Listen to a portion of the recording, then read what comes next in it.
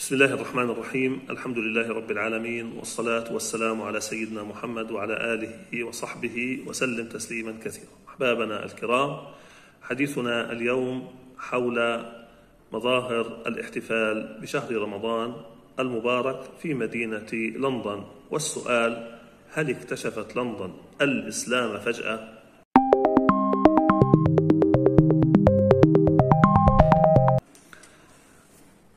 إحدى مفاصل الشوارع اللندنية الشهيرة.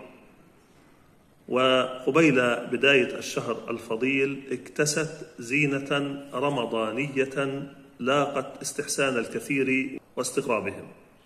في آن واحد بينما ذهب نادي تشيلسي اللندني الذي اتهم مالكه السابق بتمويل نشاطات استيطانية في القدس نحو تنظيم إفطار رمضاني على أرض ملعبه للمرة الأولى في تاريخه. والسؤال هنا هل اكتشفت لندن؟ الإسلام فجأة.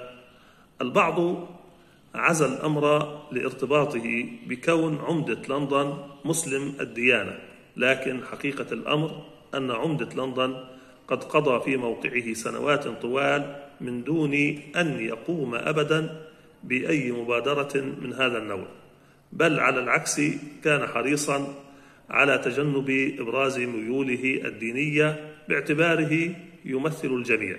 رغم أنه حاول مداهنة البعض المؤثر وفي عدة مناسبات بحثا عن الحماية والرضا. أما نادي تشيلسي فلم يكن يوما قريبا من المسلمين والعرب وهو الذي تأثر طبعا بأهواء مالكيه ومشجعيه وانتماءاتهم الفكرية والعقائدية تماما كما أندية لندنية أخرى. أما اليوم ومع بلوغ المسلمين حدا مهما من تعداد مواطني بريطانيا فإن التعامل معهم ومع متطلباتهم بدأ يأخذ شكلا جديدا نراه في لندن وعديد من المدن البريطانية. تشير بعض الأخبار الأولية المتعلقة بسجلات المواليد البريطانية إلى أن الاسم الأكثر تسجيلا في المملكة المتحدة اليوم هو محمد. وهذا يجعلنا نستحضر سيدنا محمد صلى الله عليه وسلم.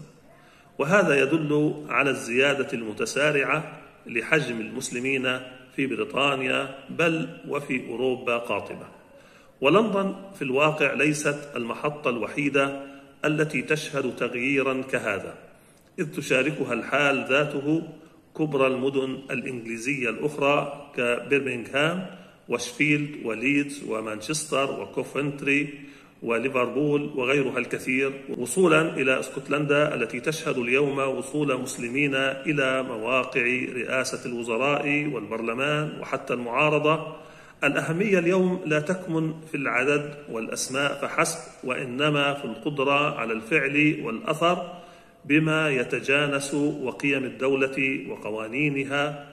وأهم مواطن التأثير المنشود إنما يكمن في احترام مقر رئيس الحكومة البريطانية المعروف ب 10 داونينغ ستريت لمشاعر المسلمين وتغيير موقفه المحايد تارة والمنحاز تارات وتارات لدولة الاحتلال الصهيوني.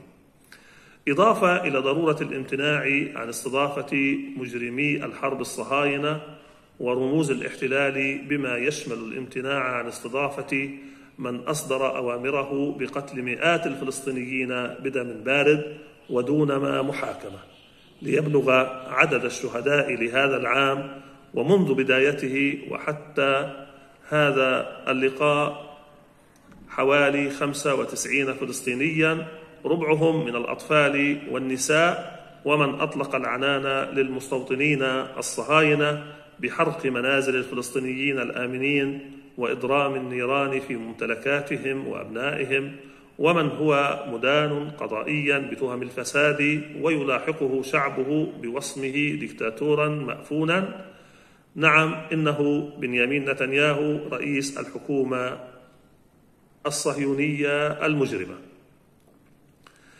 شكلت استضافة لندن للمجرم نتنياهو مؤخرا إهانة للفلسطينيين وللمسلمين والمسيحيين وجميع المناصرين للقضية الفلسطينية خاصة في شهر رمضان المبارك. نتنياهو الذي شرعن قتل الأسرى والناشطين وسحب الجنسية من العرب في فلسطين التاريخية نتنياهو من شجع السرطان الاستيطاني وتحالف مع غلاة القتلة مثل بن جابير وسموتريتش وأطلق وإياهم حملة إصدار قوانين عنصرية فاشية بالجملة نتنياهو صاحب مشروع قتل الهوية الفلسطينية وترحيل أصحابها وتجسيد مبدأ الدولة القومية المدعومة بما يسمى باتفاقيات إبراهام التطبيعية واستباحة المقدسات الدينية المسلمة والمسيحية. لذلك فإن نقطة الانطلاق صاحبة الأثر الكبير لمسلمي بريطانيا يجب أن تكمن في جعل بريطانيا تعتذر قولا وفعلا عن وعد بالفور المشؤوم وتتحمل مسؤوليتها التاريخية والمادية تجاه الشعب الفلسطيني المكلوم. فتصلح خطأها التاريخي تجاهه الذي ولد حروبا ونكبات ونكسات ومجازر وتهجيرا وتشريدا واقتحامات وجرائم حرب لا تعد ولا تحصى. وعلى الصعيد الداخلي فإن الأثر المهم لتنامي أعداد المسلمين في بريطانيا إنما يكمن في ممارسة المسلم لدوره الحضاري الإنساني المتنور في خدمة التعايش والاحترام وتعزيز أواصر الترابط والإزدهار والتطور والإبداع تحقيقا للنهضة العقائدية والأخلاقية والمعرفية التي جسدها رسولنا الكريم محمد صلى الله عليه وسلم والمسلمون الذين كانوا مبتكرين في منارات مكانية مهمة قدمت للبشرية خدمات جليلة في عوالم الإنسانيات والبنية التحتية والفلك والعلوم والرياضيات والصحة والطاقة والهندسة وجميع مناحي التنمية.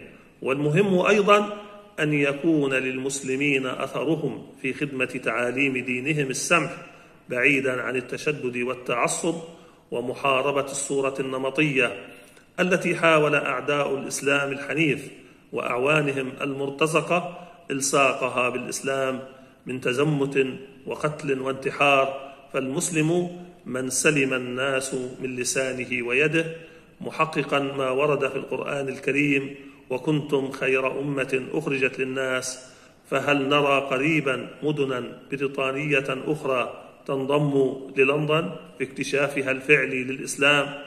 وتصالحها معه بعد أن مارست ما مارست من تجاهل واستعلاء العبرة في العدد والتأثير وليس بالأحلام والأمنيات. ننتظر ونرى. شكرا لكم. والسلام عليكم ورحمة الله تعالى وبركاته.